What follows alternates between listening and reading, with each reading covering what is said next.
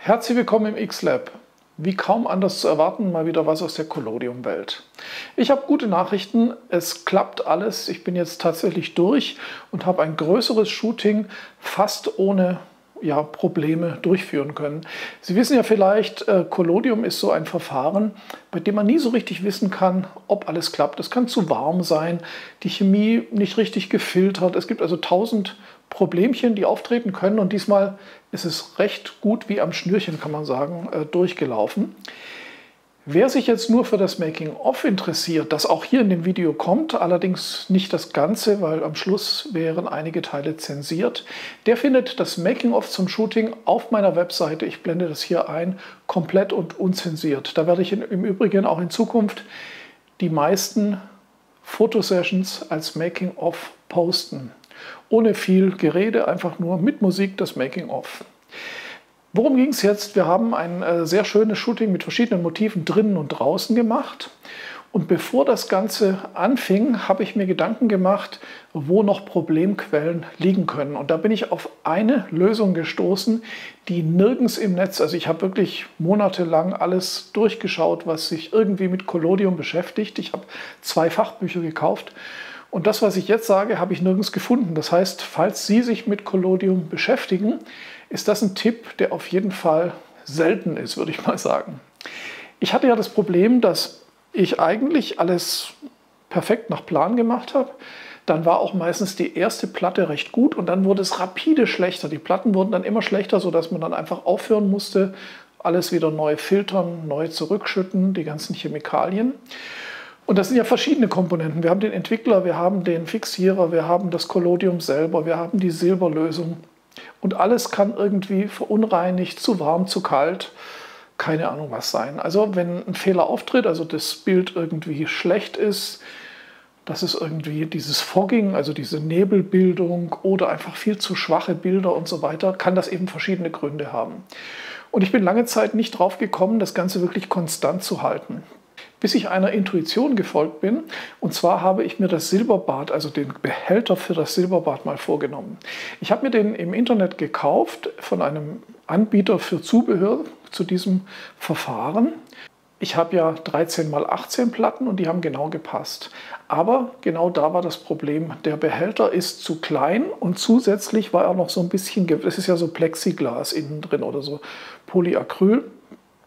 Und der war auch noch gebogen, sodass der Platz für die Platte sehr eng war. Wir haben also, wenn die Platte drin war, eine Glasplatte, nur noch ganz wenige Millimeter Platz gehabt. Und das hat dazu geführt, dass wenn die Chemie ein bisschen verunreinigt oder leicht verbraucht war, dass sie sich dann eigentlich kaum erneuern konnte. Und ich habe mir gedacht, wenn wir dem Ganzen mehr Spielraum geben, mehr Platz geben, also auch mehr Chemie geben, also eine größere, ein größerer Behälter, dann könnte es besser sein. Also habe ich mich hingesetzt, habe einen zusammengebaut aus Acrylglasplatten und Holz,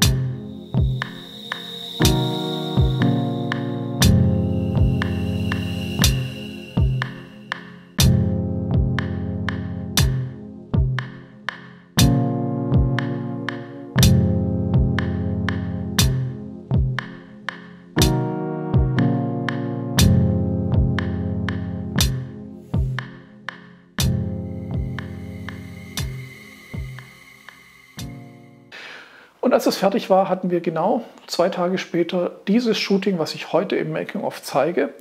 Und alles ist gut. Es ist also tatsächlich keine Empfehlung, zu kleine Behälter zu kaufen. Der Nachteil von größeren Behältern ist natürlich, wir brauchen viel mehr Chemie und gerade das Silbernitrat ist ja relativ teuer. 100 Gramm Silbernitrat kostet ungefähr 200 Euro, also es ist relativ teuer. Der Behälter, den ich jetzt gebaut habe, der hat eben statt 300 Milliliter ungefähr 550 Milliliter Fassungsvermögen, also fast das Doppelte. Aber das ist immer noch vertretbar und ich habe rechts und links Luft und nach vorne vor allen Dingen Luft. Das heißt, die Platte schwimmt freier in der Chemie und das Silber, das lichtempfindliche Silber, kann sich besser aufbauen und plötzlich läuft's.